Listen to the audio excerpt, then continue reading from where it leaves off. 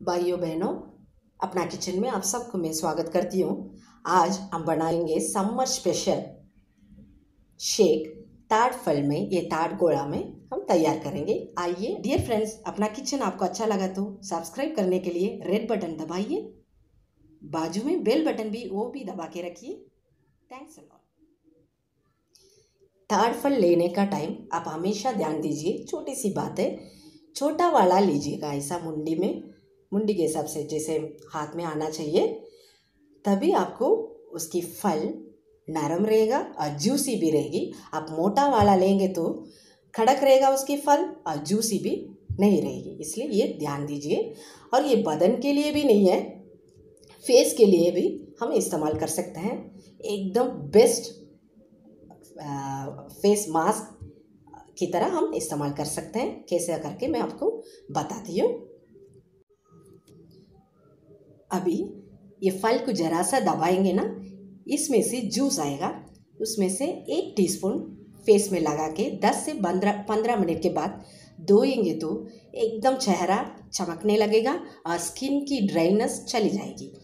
वो नहीं तो दो पीसेस ये फल से लेके आप पीस के पेस्ट बना के फेस में मास्क की तरह लगा के 10-15 मिनट के बाद धो के देखेंगे ना, एकदम चेहरा चमकने लगेगा।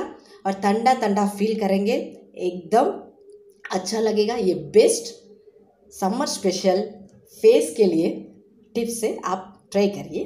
अभी शेक के लिए मैंने जार में छोटी छोटी पीसेस करके ले ली हूँ और चिल्ड दूध एक ग्लास मिला रही हूँ।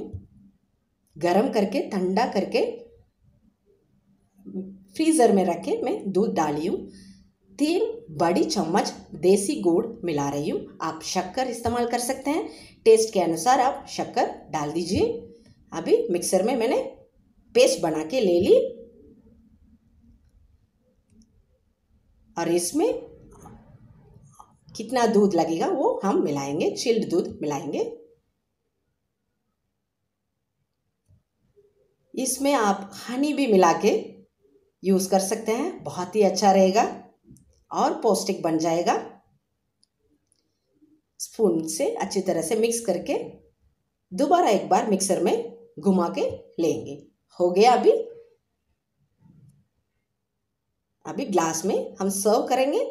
वो जो फल है उसको भी छोटा छोटा पीसेस करके उसमें मिलाएँगे। तभी वो बीच में आएगा तो बहुत ही अच्छा रहेगा। भाइयों बहनों ये ज़रूर ट्राई करिए। क्योंकि आइसक्रीम इसके सामने हार जाएगा। हर एक स्पून आपको हेवन फील करेंगे आप। इतना अच्छा रहेगा। मैं बोलने से पता नहीं चलेगा। आप एक बार ज़रूर ट्राई करके देखिए। ये हेल्दी ड्रिंक आपको पसंद आया तो शेयर करिए लाइक करिए सब्सक्राइब करिए। बदन भी ठंडा ठंडा फील करेगा, चेहरा भी ठंडा ठंडा